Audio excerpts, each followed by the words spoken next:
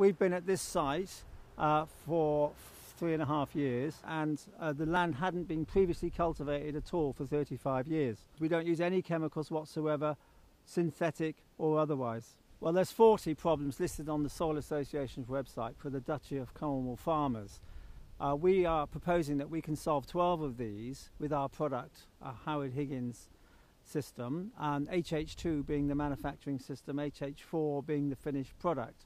By applying this product to the surface of the soil without cultivation, we can solve slugs and snails in salad crops, caterpillars, cabbage white butterfly in brassicas. Uh, we can solve airborne blight in potatoes, Phytophthora infestans. Just by applying it annually as a top dressing, we can solve these problems. So the Howard Higgins system has controlled temperature and fungi and bacteria generation.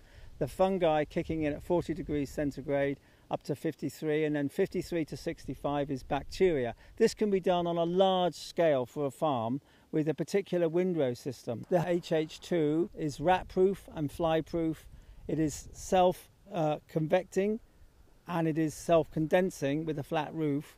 So, therefore, it saves a huge amount of moisture. The Howard Higgins system, with a few modern tweaks, can improve fertility such a great degree on farms that you prevent diseases like tuberculosis in cattle. It's all about healthy animal feed so that your animals become immune to disease. I have been practicing this system for 17 years and found the results absolutely amazing. And I would urge all farmers to look at this literature of Albert Howard and try and practice the system on his farm because it does produce staggering results of disease and pest free crops.